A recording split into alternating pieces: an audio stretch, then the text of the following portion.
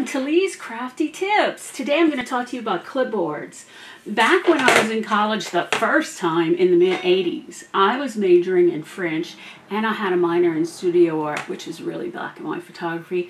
But I did have to take the other classes like oil painting and watercolor and all that other media that was just also wonderful, and drawing, which I really still can't do very well to this day, even though I did get a B in that class. I focused. I used to take notes on, let me reach back here real quick, legal tablets attached to clipboards. Now, clipboards is, are my topic of the day. I would take my clipboards and I would embellish them, as we like to call it in the mixed media world.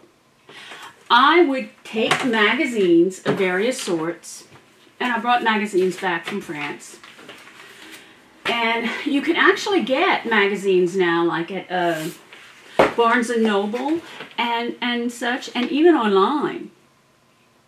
You can even actually print out stuff on your computer in different languages. Uh, but I like the, the different quality of the, the papers that you can get from cutting out of magazines. I have Bon Appetit and different card maker magazines, which I get, and sports magazines. I don't know why. I have Restoration Hardware because I got curtains from them several years ago, and I have I found re I found recently three different clipboards. This one's classic. A calendar on it from 1992. Mm-hmm. We don't throw anything away, any love and goodness away in this house.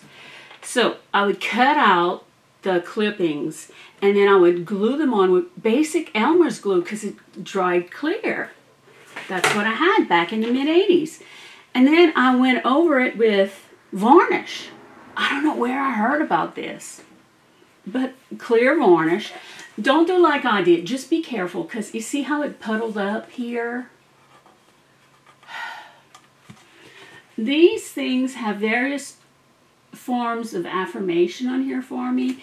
Um, dare to scale the heights against all odds. I used to be terrified of heights. Join the army, learn to rappel. Got over all of that. But crappy but holy. I mean, this is just look at when I read over this, I see I, I, it takes me back to 30 years ago in my life. And I highly recommend doing stuff like this. Little snapshots. And then you can actually, it, this is functional, functional art. I highly recommend you do it for, you, you suggest that your high school age, college age child do, does this. I'm going to get my child who's 12 to do this because she's taking college eh, level classes right now. Art therapy, it's great and it encourages you to do positive things in the world. It lasts forever. And then you can like hang this with to do things. I have my clipboard on this clipboard right now. I'm still using it with a legal pad with the commissions that I have for cards to do for people.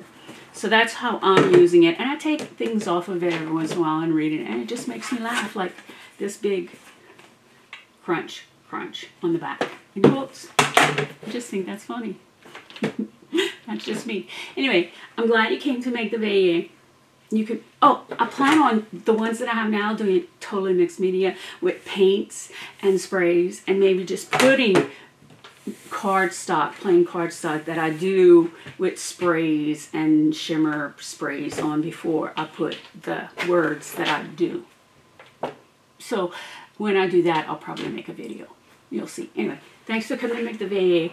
Come back and see me. Give me a thumbs up. Subscribe. Yay!